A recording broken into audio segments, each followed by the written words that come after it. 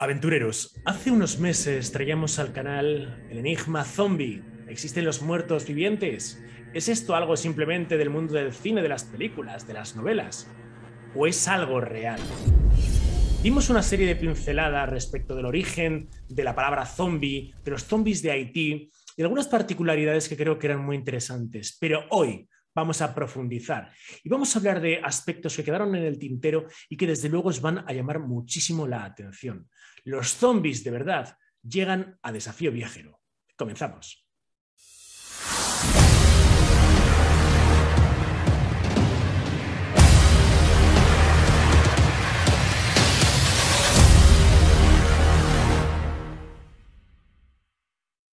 José Manuel García Bautista, bienvenido a Desafío Viajero, ¿cómo va eso? ¿Qué tal, compañero? Agradecido, bien hallado y sobre todo encantado de estar aquí en el Desafío Viajero. Bueno, acabas de publicar tu nueva obra que es Muertos Vivientes. Y por la portada estábamos comentando antes, ¿no? Que eh, casi evoca mucho la fantasía, pero por lo que yo he leído entre las páginas de tu obra, nada de imaginación tiene esto, ¿no? Esto es absolutamente verdad. Efectivamente, nada tiene de, imaginación. Yo me quería alejar mucho del estereotipo de, de zombie, de muerto viviente que tenemos en mente. Cuando hoy día nos hablan de, un zombie, se nos va a la cabeza Walking Dead, que es el fenómeno que lo ha puesto en moda de nuevo, ¿verdad? Pese a que, fíjate, el tema de los muertos vivientes Mm, data las primeras películas de mediados del siglo XX, es decir, que es un fenómeno antiguo y conocido y quizás incluso más realista que incluso la propia Walking Dead, que como todos sabemos tiene un margen bastante amplio de imaginación. Pero sobre todo era eso, era tratar de, tocar la realidad del muerto viviente, el cómo se vive en el sitio, pero también abrir el abanico, abrir el abanico y ver lo que dice la ciencia, los casos que hay reales, eh, cómo es una ceremonia de vudú. Que el problema es que muchas veces hablamos de vudú y nos creemos que es un muñequito al que le clavamos pinchos y, alfileres, y eso es el vudú, y el vudú va mucho más allá, ¿no? Entonces se trataba también un poco de hacer justicia, ¿no? Tanto a la cultura de aquella época, tanto al tema del muerto viviente, que es apasionante antropológicamente, tiene un alcance que es increíble, y que no nos quedemos simplemente en el apartado del cine, al que yo también le dedico un, capítulo bastante amplio, pero que por lo menos sepamos que detrás de todo eso hay algo que es real. Lo creáis o no, no es un zombie lo que tenemos ahora mismo en pantalla, ¿vale? Eh, no obstante, no obstante, y antes de que finalice el fenómeno paranormal al que estamos asistiendo, ¿qué diferencia existiría entre el vudú, que creo que va a ser una de las claves, y la santería por otra parte. ¿Es lo mismo o alguna distinción? Hay, hay variantes, hay variantes porque, aunque hay que decir que es tanto santería como vudú, parte de la misma región de, o del mismo entorno geográfico, es decir, de África, sí es verdad que cuando los barcos de esclavistas, los barcos negreros, llegan a toda la zona de Nigeria, de Benin, el Congo, empiezan a, evidentemente a robar a las personas de su entorno a montarlos en barcos en los que iban hacinados en la mayoría de las ocasiones hasta llegar al nuevo mundo, ahí es cuando nos vamos a encontrar dos vías. Una primera vía, que es la que se abre a Sudamérica, en la que llega a Brasil principalmente, y una segunda vía, que es la que llega a toda la zona de Mesoamérica y en concreto al Caribe, centrándose principalmente en la zona de la Española, en la zona de la isla donde llega Cristóbal Colón, que con el paso del tiempo se fragmentaría en dos, y una parte de ella pasaría a ser de dominio francés. Estamos hablando de República Dominicana y de Haití. Bien, mm. pues todas esas culturas, lo que les ocurre es que mm, eran, en cierta forma, tenían sus propias creencias, su propia religión, su propio credo, pero ocurría que en la época en la que se da todo esto, pues hay una inquisición vigente, no se aceptaban fórmulas que no fueran las aceptadas, y por tanto, ¿qué pasaba? pues que se prohibían. Estas personas que evidentemente también tenían la inteligencia que te da la necesidad, pues para seguir rindiendo sus cultos y seguir teniendo sus rituales, lo fusionaron cual crisol con las religiones, en este caso con la religión cristiana. En un caso, la de la santería, está eh, unida, está fusionada con lo que es la religión católica, en este caso española portuguesa, y es la que eh, da origen a los llamados orichas, los santitos, que tiene un carácter, en este caso, muy de fusión con la naturaleza y demás. Y luego nos vamos a encontrar con la vía francesa, que sabes que siempre ha sido, hablando en términos de catolicismo, un poco más radical, un poco más cerrada.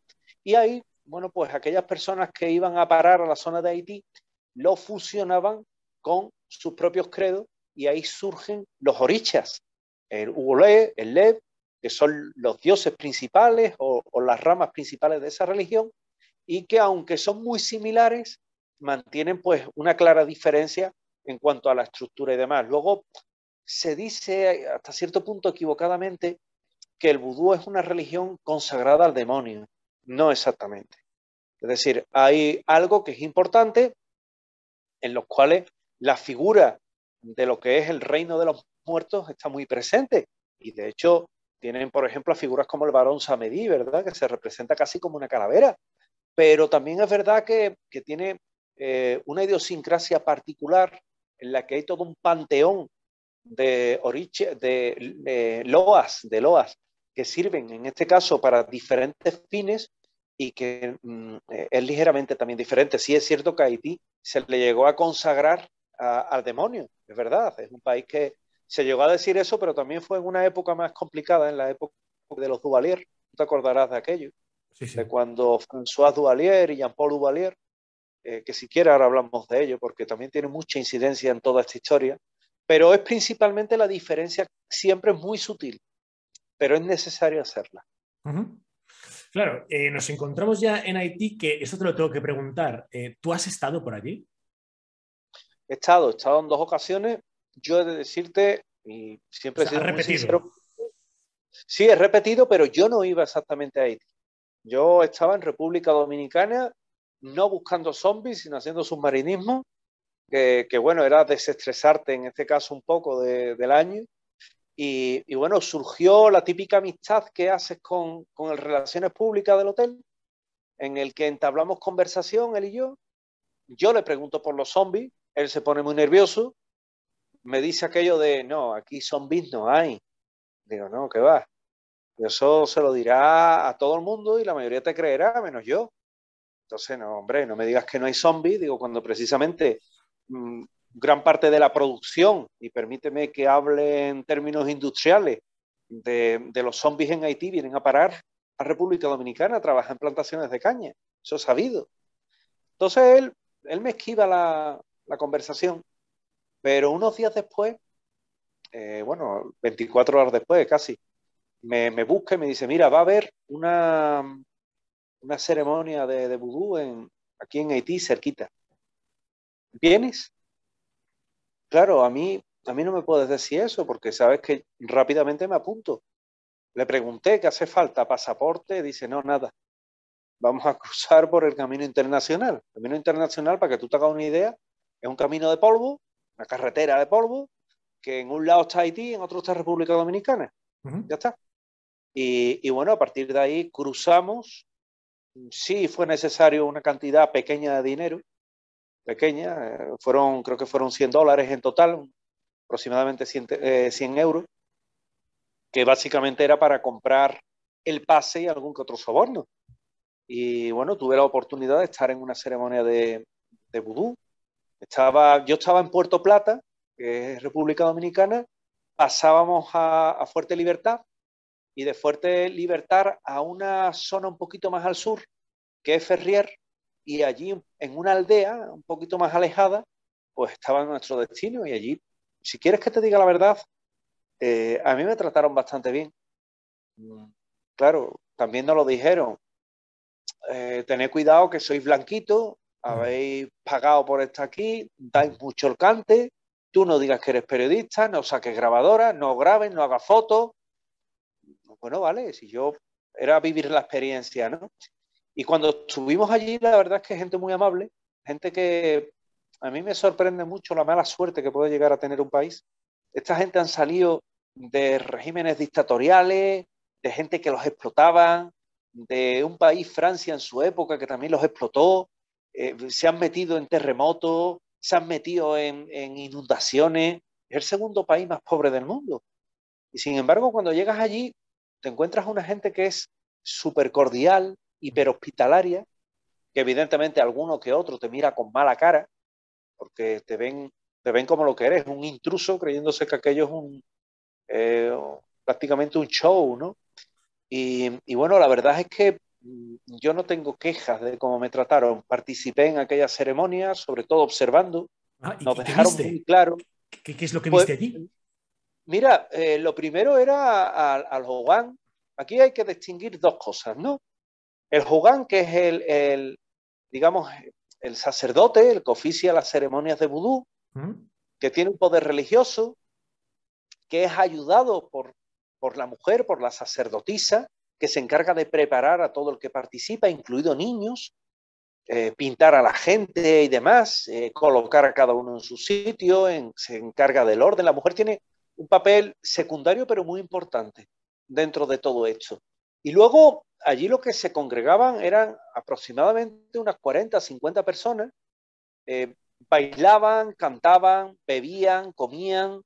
Eh, había un grupo de ellas que llevaban las caras pintadas de blanco por aquello del varón Samedí, aunque la figura del varón Samedí eh, tiene otra connotación dentro de la ceremonia.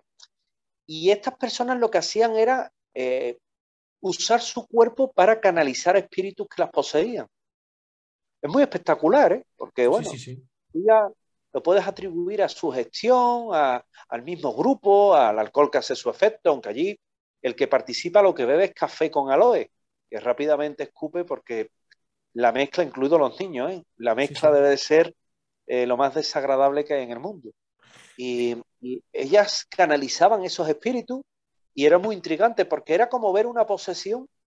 Yo no sé si has tenido alguna vez la oportunidad de ver una, eh, yo he estado en varios ritos de exorcismo en Sevilla y a mí me lo recordó mucho, es decir, esa transfiguración, ese cambiar la voz, ese, ese ritmo parsimonioso al hablar o histérico, es decir, todo eso se ponía de manifiesto en esa ceremonia. Y luego cuando iba concluyendo, el hogar lo que hacía era una ceremonia de, también de limpieza, en el que te limpiaba, te lavaba la cara con agua, Ahí casi todos participamos, de hecho nos lo recomendaron, no es conveniente ser descortés con ellos y, participamos todos.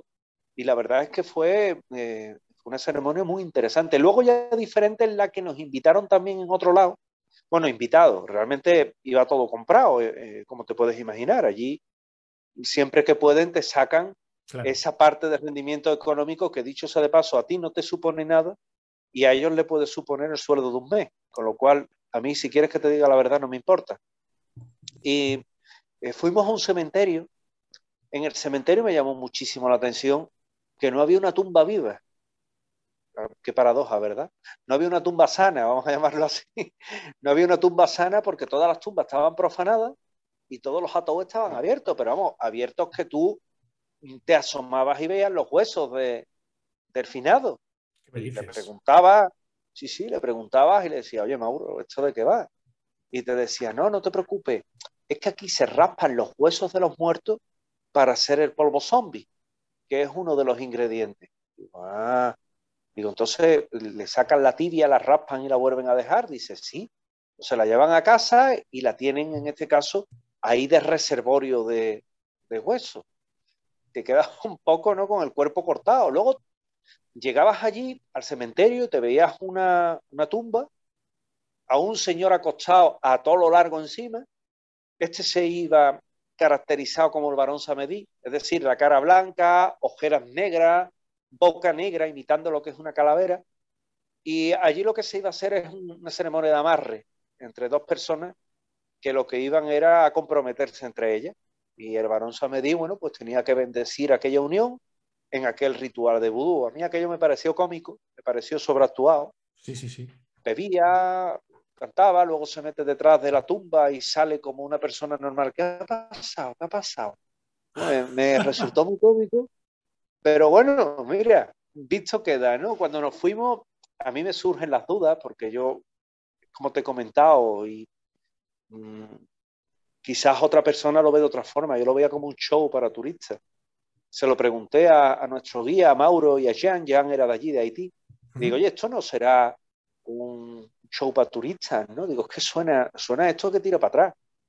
Y me lo dijo, dice, no, mira, realmente, si esto fuera un show para turistas, las mafias de Haití estaban aquí y estaban armadas, contando la gente que había para luego cobrar. Dice, aquí como tú has visto, no ha habido nadie. Aquí todo el mundo Mm, sí, había gente que te podía mirar con mala cara, pero, pero ya está. Es decir, no es un show para turistas. Y luego sí es verdad que me dijeron, hay un rito de un despertar zombie. Ahí me quise también apuntar. Ahí dije, ah, yo quiero. Pero claro, ahí me dijeron que no. Dice, ni tú, dice, ni nadie. Dice, ahí nada más el que el bocor, aquí sí hablo de bocor.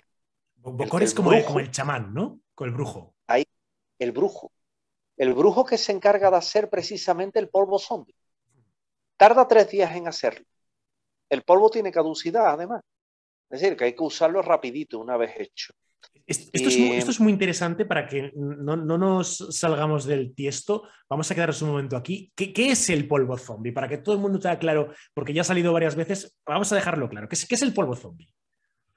Bueno, el polvo zombie es una sustancia que existe de verdad. Yo, de hecho, aquí tengo un bote con polvo zombie. ¿Qué me dices? Sí, sí. Tengo un bote con polvo zombie. no pude acceder. Me lo traje. No, además, no es broma. Eh, eh, de hecho, mis amigos y demás saben que, efectivamente me lo traje para acá. Yo en esa, te lo enlazo si quieres, en aquella eh, ceremonia a la que no me dejaron asistir, se lo pregunté, digo, ¿y, ¿y tienen polvo zombie? Dicen, sí. Digo, ¿me puedo conseguir una muestra? Sí. Digo, bueno, pues, ¿cuánto me va a costar? Eh, cinco dólares. Digo, hecho. Cinco dólares, lo acepto. Y si quieres que te diga también la verdad, yo no sé qué tiene el frasco, ¿eh? Ni lo voy a probar por lo que te voy a contar ahora. Que aquello puede ser desde sal, bicarbonato, pica pica, a polvo zombie de verdad, vamos, que, que tampoco te engaño. No lo voy a probar porque el polvo zombie se inhala por vía cutánea. Entonces, respirarlo o tocarlo implica lo que te voy a contar ahora, ¿no? El polvo zombie es un, elemento que realmente existe. Existe de, existe de verdad. De hecho, fue lo que motivó a Watt Davis, aquel que inspiró luego la película de Wes Craven que se llamaba La serpiente y el arco iris, maravillosa, porque te lo refleja muy bien. No, no salen comedores de cerebro. Entonces, mm, ahí te lo refleja muy bien. Bueno, pues el polvo zombie es lo que se le aplica a la persona en un ritual que puede ser por venganza. Normalmente se aplica por infidelidades, es lo que más se usa. Lo que pasa es que luego no se llega a finalizar la ceremonia, o no se llega a finalizar la zombificación, que ahora te voy a explicar. Y entonces el polvo zombie, como te he comentado, no hace falta echarlo en una bebida, ni inyectarlo, nada, nada. Simplemente te lo pueden soplar y tú respirarlo, o alguien con un guante se aplica una mínima porción en un dedo, te lo pasa por tu dedo, por una parte que lleves a carne descubierta, y en cuatro horitas empieza a hacer efecto. El problema que cuando te lo han aplicado es tan potente, ahora si quieres te digo la fórmula, que entras en una catalepsia profunda. Y en Haití una catalepsia profunda es sinónimo de certificado de muerte. Porque es un país que, como te he comentado antes, es muy pobre. Allí no tienen equipo de electromedicina. Allí un desfibrilador, como no te caiga un rayo, te despierte, allí, allí es imposible encontrarlo, ¿eh? Entonces, hablamos de, catalepsia que serían cuatro o cinco pulsaciones al minuto, ¿no? Una cosa así. De dos a cuatro. Tú imagínate tú con tus deditos cogiéndole a uno aquí la horta y cuando late es que te da la impresión de que son tus propios dedos, tu propio latir, entonces pasa desapercibido. ¿Qué se hace allí? Pues lo que hacen es que te clavan un alfiler en un ojo. Sí, así. Tal cual. Y si no chilla y si no llora, es que estás muerto. Madre mía. Y si estás muerto, pues te entierran entierran. Y, la gente tiene tanto miedo que prefiere que el difunto se entierre, en este caso, en su casa, antes que enterrarlo en el cementerio de, la ciudad, ¿no? O del pueblo, de la aldea. Incluso mandan a decapitar al muerto. O mandan a degollarlo. Porque en, en Haití hay un miedo que es visceral, que nos dice que se prefiere una persona muerta, pero muerta, muerta, ¿eh? que zombificada. Imagínate cómo es la cosa, que un familiar pague a, otro para que le corten la cabeza o degollen a una persona para asegurarse que está muerta. Tú imagínate cómo es el tema, ¿no? Entonces, eh, esto, pese a que hay casos que datan de zombies, los zombies más recientes, bueno, hay casos que datan del año 1780, pero todo el mundo hace referencia al caso de Clavirius Narcis, que fue en 1963, pero hay un caso anterior de Felicia Félix Mentor, de 1907, que ella es zombificada en el año 1907, pero aparece en 1930. De hecho, hay fotografía de ella, ¿no? Sí, además, mira, era una señora, eh, era de raza negra, atractiva, eh, típica cantante eh, que evidentemente de, potencia de voz, entrada en peso, entrada en carne, sin estar evidentemente desfondada, pero vamos, era una persona que estaba, era ancha, era gruesa y, cantaba muy bien, decían. Pues hubo un motivo de celos por la que se la zombifica. Se pega 23 años en una plantación. Claro, a la persona cuando se la zombifica, esto no es soplarte el polvo, el polvo zombie ya hemos acabado. Hay que mantener a la persona en ese estado. Entonces, mm, habitualmente una vez por semana hay que suministrarle, que esto nadie lo cuenta, hay que suministrarle lo que es una droga de mantenimiento hecha a base de escopolamina y de atropina. Eso lo que hace es que te deja, bueno, pues absolutamente mm, somnoliente, sin voluntad, eh, te deja bastante mal. Claro, eh, cuando la persona, cuando se está en este caso en todo lo que es el tema de eh, de ese estado y está durante años, pero en una plantación se cambia de dueño, el dueño muere, eh, cualquier acto similar se le deja de suministrar a los zombies, a los esclavos, al fin y al cabo, esa droga y es cuando van recordando. Muy poco, porque el daño neurológico, el daño neurológico es criminal. Lo puedes imaginar, el cerebro sin oxígeno o con un mínimo de oxígeno, el daño que se le hace a la persona es brutal. Claro, porque cuando aparece, cuando aparece es muy difícil de, que esa persona pueda ser la misma que se fue. Es muy complicado, es, prácticamente imposible. Claro, porque Felicia Feliz. Sí. Sí, sí, habla. Eh, ¿Cuántos días el, zombificado está enterrado hasta que llega el Bocor con su séquito para desenterrarle? Porque claro, yo me imagino el Bocor soplando el polvo zombie a alguien, que a las pocas horas ese alguien caiga, le den por muerto, le entierren, tierra encima. Claro, a los días o a las horas imagino que llegará por allí el Bocor con sus secuaces, que yo me estoy preguntando cuánto puede aguantar el cuerpo humano con esa ínfima cantidad de oxígeno que le está llegando al cerebro. Claro, dices, tampoco está consumiendo mucho oxígeno ni energía porque su corazón tan apenas está consumiendo recursos al ir tan despacio, ¿no? Pero eh, es un cuerpo que tendrá que consumir algo para poder sobrevivir. Por eso, eh, que es a los días que llega por allí el bocor y desentierra, imagino que le dará algún tipo de hierba para reanimarle, o cómo, sucede, cómo es el desenterramiento es, jodida la cosa, ¿eh? porque la persona puede estar entre 24 y 72 horas allá abajo. Te puedo decir que cuando han pasado aproximadamente 24 horas, la persona empieza a ser consciente, empieza a darse cuenta de lo que hay. Tú imagínate a esa persona a la que se le ha administrado la clave del polvo zombie. El polvo zombie es una base de, la molécula de Dios, del sapo bufo, lleva otra parte que es a base de, escopolamina. Todos sabemos la escopolamina hoy día lo que es, la droga del violador, además te deja cao. Te deja y tengo muy buenos amigos en la Policía Nacional que de vez en cuando me consultan algún caso y la, escopolamina tiene eh, la virtud que no deja apenas rastro en la sangre. Luego te encuentras que también lleva atropina, lleva eh, la base principal es veneno, en este caso que se extrae del hígado o de las huevas del percólogo, del fugu, que a ti te sonará de los restaurantes japoneses. La tetratoxina, ¿no? Eh, eh, la tetratodoxina esa. 160 mil veces más potente que la cocaína. 160 mil veces más potente que la cocaína. Te pasas en lo que es la, la dosis y a la persona la matas. Por eso es el bocor el que tarda tres días, porque esos ingredientes se van sacando in situ.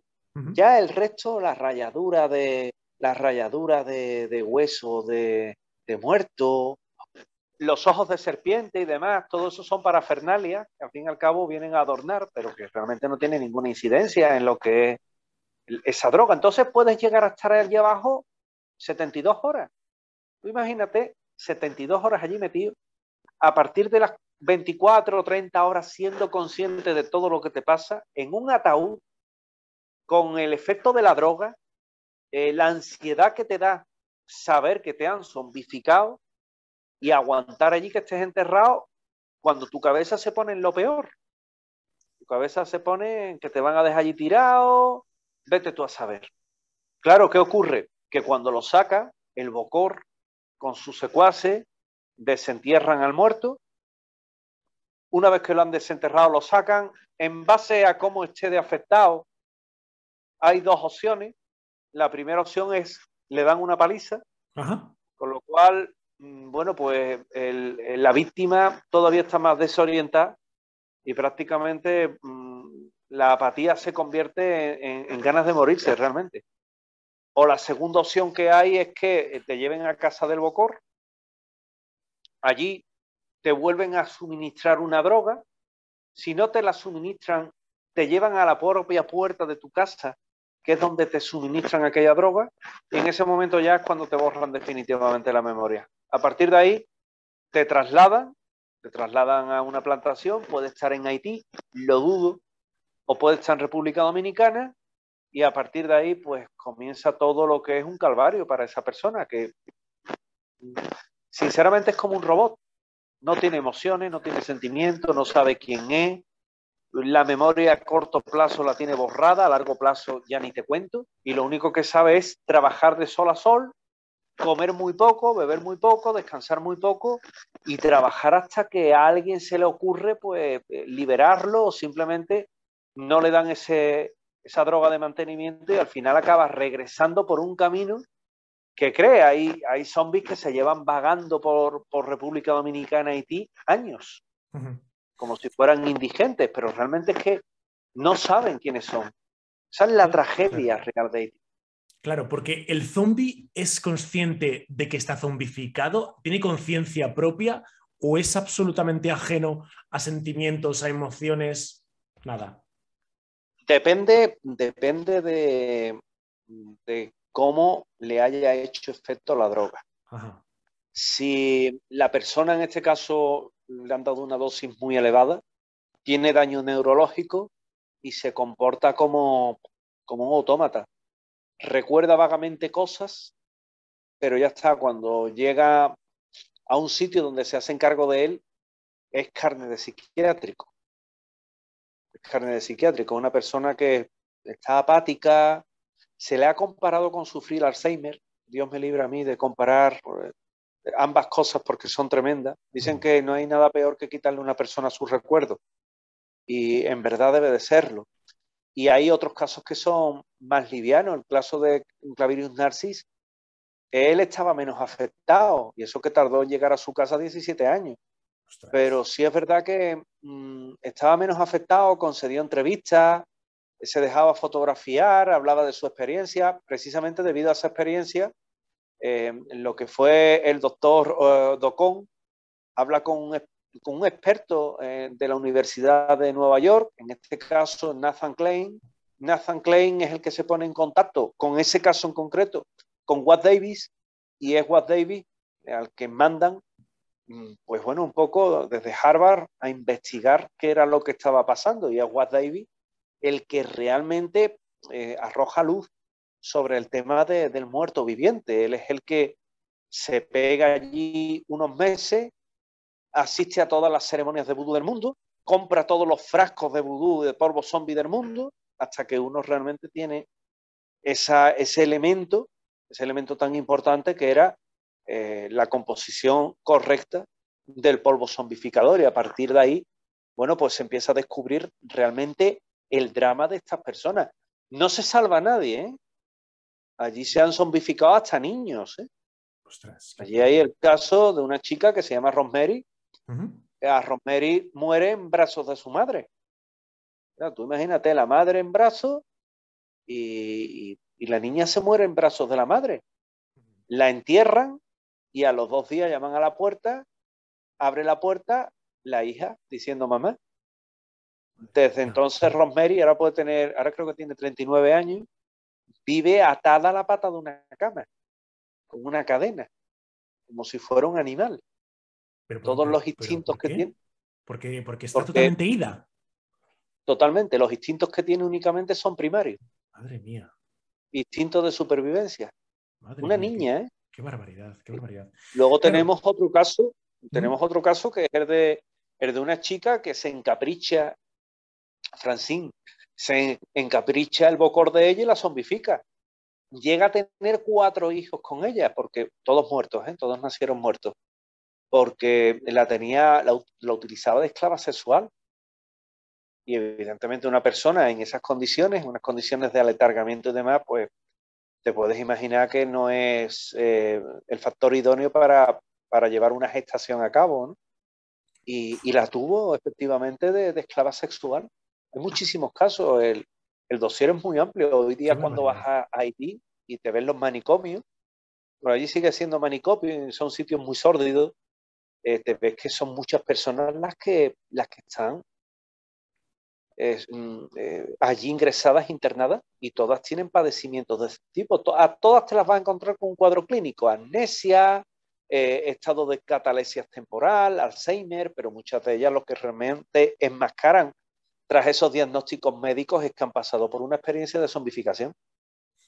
Es que da terrible miedo eh, el ser objeto de este tipo de experiencias. Yo recuerdo, mira, justo hoy hace un año estaba por allí, estaba por República Dominicana y tenía la intención de cruzar Haití. tenía todo previsto para poder cruzar y mi intención era acercarme al mundo zombie cuando estalló el golpe de Estado que hizo que, bueno, se viniese abajo todo el viaje que tenía planteado y, lo sigo teniendo pendiente, ¿no? Entonces, me llama mucho la atención que a día de hoy se sigan realizando ese tipo de ceremonias eh, de zombificación cuando es en el propio Código Penal haitiano que se castiga con pena de prisión quien tratare de eh, privar de la voluntad mediante la utilización de, pues, de tipo de hechizos de formas, utilización del polvo zombie, ¿no? Es decir, que a día de hoy se sigue zombificando en Haití. Este podría ser el titular. Sí, de hecho, no solo se sigue zombificando, una cosa es lo que dice el Código Civil y otra cosa es quién manda en Haití. En Puerto Príncipe, en las ciudades principales de, Haití, puede mandar evidentemente un gobierno, una autoridad local, la policía, pero yo te garantizo que en el centro de Haití, en las aldeas y demás, hay mafias organizadas que todos vienen de los tiempos de los Duvalier. Eh, eh, Jean-Claude Jean Duvalier y, François Duvalier, primero el padre, François Papadoc, y luego el hijo, eh, Jean-Paul, Baby Doc, se les llamaba así, los Duvalier. Ellos, el primero, François crea los tontos macuts, te acordarás de ellos, la Guardia, la Guardia Negra, y luego su hijo Jean-Paul, para llevar un poco la contraria al padre, el primer dictador de cargo hereditario del mundo, que fue Jean Paul, eh, se encarga de crear los leopardos, que era lo mismo pero con diferente nombre. Y claro, cuando van progresando los tiempos y demás, porque esta gente lo que hizo fue lucrarse de mala forma del pueblo haitiano. Gente con estudios, gente que tenía pico, que tenía labia. Para colmo, fíjate cómo es la cosa, el propio eh, eh, padre, François Duvalier, en los últimos años de su reinado de terror, él iba a, los mítines, se caracterizaba como el, el barrión cara ligeramente blanca, pálida, ojeras negras y boca negra. De forma que tú lo veías y te parecía que estabas viendo realmente, oye, al varón eh, Samedí, y eso era lo que él quería, por el miedo psicológico que creaba en la gente que asistía a aquellos mítines obligatorios y que lo estaban viendo y decía, es que como yo le llevé la contraria a este, me zombifican, que era lo que te estaba queriendo decir, y que él tenía un pacto con el demonio. Bueno, pues eh, su guardia negra, cuando, cuando pierde poder, son los que precisamente empiezan a crear las redes de mafia. Y fíjate, entre 1957 y 1986 eh, desaparecen en Haití 150.000 personas. 150 de esas 150.000 personas, te lo he dicho bien. De esas 150.000 personas se considera que por lo menos 40.000 fueron zombificadas. Madre mía, qué barbaridad. Qué barbaridad. Tal cual. En 20 años, más o menos. Da miedo, ¿eh? Da miedo pensar en darse una vueltecita por Haití. Hay que pensárselo bien porque, claro, es que nosotros, yo me imagino que somos una golosina, porque incluso físicamente mm, eh, nada se parece el haitiano al, dominicano. Entonces, eh, desde Europa o desde el resto de los países de Hispanoamérica, pues llegas ahí, imagino que tienes que pegar un cantazo tremendo que deben de pensar, bueno, eh, si te pilla un bocor, eres carne fresca para ser zombie, ¿no? Totalmente. De hecho, tú bien lo has comentado. Fíjate, en la mitad de la isla se habla castellano, en la otra mitad se habla francés. Eso es. Eh, unos son de, rasgos negroides, los otros son entre mulatos y, nativos de allí y más de, rasgos europeos. De hecho, allí, si lo evaluamos por las mujeres de la isla, hay eh, dominicanas que son guapísimas, es decir, que, son, eh, son unas chicas que son fantásticas. Y lo que te viene a decir es que hay una, pluralidad bastante, bastante amplia en lo que es la, eh, propia fisonomía de la gente, ¿no? En Haití no. En Haití están enraizados todavía en, hace décadas. El cambio es brutal, es radical. En Haití hay miedo, evidentemente, a lo que es el vudú, pero se convive con él. En República Dominicana no hay respeto, lo que hay es mucho miedo porque saben que eso está al otro lado de la isla. Eso es. Y que aunque hay una frontera, hay determinados pasos que no hace falta ni pasaporte. Eh, ¿Tú llegaste, llegaste, a pasar miedo cuando estuviste en la ceremonia de vudú? Sí, sí. Sí, porque allí te ves a unos fulanos que tienen muy mala cara, que llevan unos machetes que son súper grandes y, te miran así con una cara, claro, es que te ven como un intruso, como lo que realmente eres. Entonces, yo no te voy a engañar, yo pensaba, digo, como a uno de estos se le cruce los cables, no veas, ¿no? Pero bueno, a mí me decía Mauro, tú no te preocupes que no pasa nada, y no pasa nada. Tú lo que no tienes que sacar fotos, ni sacar grabadora, ni decir que eres prensa. Tú eso te olvidas. Tú estás haciendo submarinismo y eres un curioso, no digas esas cosas. Pero sí es verdad que allí se pasa miedo más por lo que tu mente te juega, ¿no? Te traiciona, ¿no? Pero claro, cuando por la noche ya nos veníamos y nos decían, no, es que ahora van a despertar a un zombie. Y tú ahí entiendes que, es verdad, ¿no? Entiendes que es real, ¿no? Luego había una familia por allí andando que iban muy apesadumbrados, que todo el mundo los saludaba. Ella iba vestida de rojo, no sé si el color a lo mejor marcaba algo. Y yo les pregunté, digo, bueno, ¿y a esta familia que acaba de entrar, por qué la saluda todo el mundo? ¿Por qué no sé, ¿no? Porque está todo el mundo, dice, no, porque zombificaron a su hijo y, actualmente sabe dónde está, está trabajando en una plantación, pero para ellos está muerto. Madre del amor hermoso. Como si no existiera, pese a que sabes que tu familiar está vivo. Ostras, ya te digo, te prefieren muertos a zombificados. Sí, sí, sí, sí, porque saben que si llevas a la policía y lo liberan, probablemente sea una carga gigantesca para la familia el tener a esta persona zombificada ahí, en casa. Que no hay recursos, claro, no hay recursos, no sabes cómo cuidarlo, te cuesta dinero. Bueno, es bueno. Unas personas que, tienen poco dinero y, además date cuenta una cosa, eh, que ese zombie lo han vendido por 3 mil dólares a República Dominicana. O sea, cuesta 3 mil dólares un zombie. 3 mil dólares. Me cuesta más la droga de mantenimiento toda la semana. 3 mil dólares multiplica. Sí, sí, sí, sí, sí, alucinante. Oye, eh, creo que nos ha quedado un, personaje para desarrollar un poquito, para que quede claro quién es. ¿Quién es este varón Samedi que ha salido varias veces? El varón Samedi es el guardián de la muerte, el guardián de los infiernos, el mediador, uno de los, de los loas máximos que tienen ellos. Vale.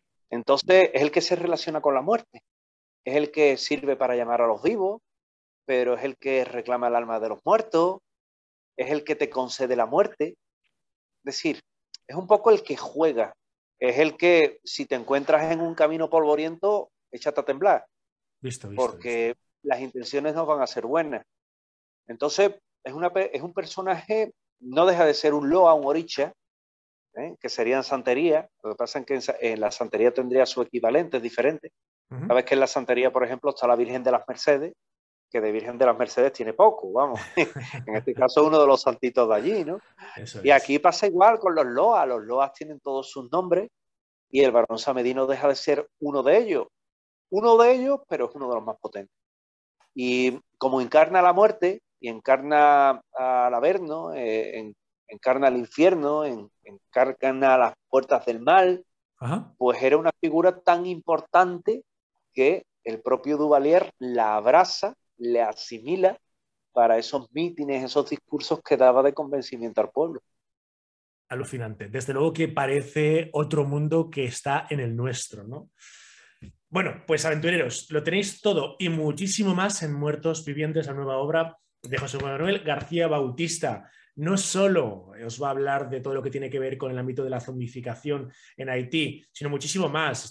estamos hablando de la zombificación psicológica de personas que se creen psicológicamente que están muertas y que actúan como si fueran zombies por enfermedad mental.